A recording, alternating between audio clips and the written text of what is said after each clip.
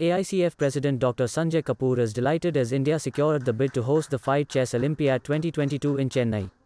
It will be the first time that an Olympiad will be held in India. It's a brilliant moment for every Indian. I'm, every Indian should be proud. It's the 44th edition, and we didn't have any single Olympiad in India. And Olympics, is, Olympiad is coming to India. What a moment!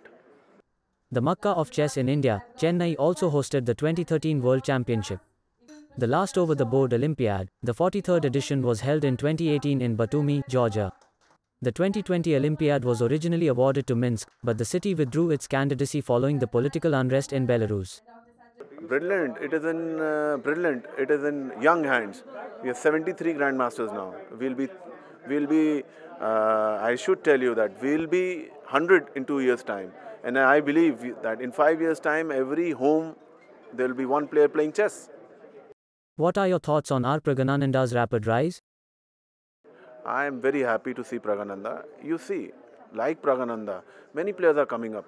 The national champion for girls, woman is 16 year old girl.